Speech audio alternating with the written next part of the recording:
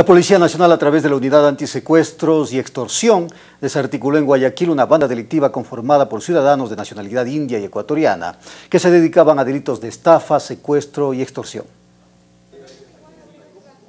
El modus operandi de la organización era a través de la red social Facebook, ofreciendo trabajo a ciudadanos de la India en Estados Unidos. Los ciudadanos llegaban hasta el aeropuerto y eran abordados ahí ya por los captores y los trasladaban inmediatamente a un hotel.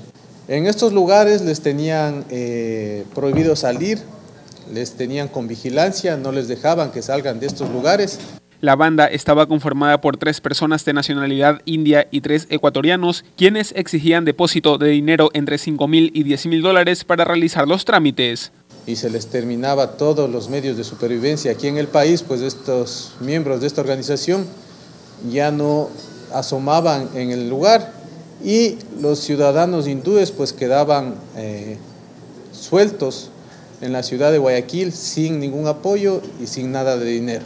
Según la policía, los hindúes llegaban al país a través de cartas de invitación formales que eran elaboradas en una especie de estudio jurídico en el norte de Guayaquil. Dentro de las evidencias que se pudo levantar en este caso, tenemos tres computadoras, siete teléfonos celulares y varios documentos vinculantes con esta actividad ilícita. Las investigaciones iniciaron tras una denuncia presentada por tres personas afectadas y duraron aproximadamente seis meses. Jorge Celitlerama Noticias.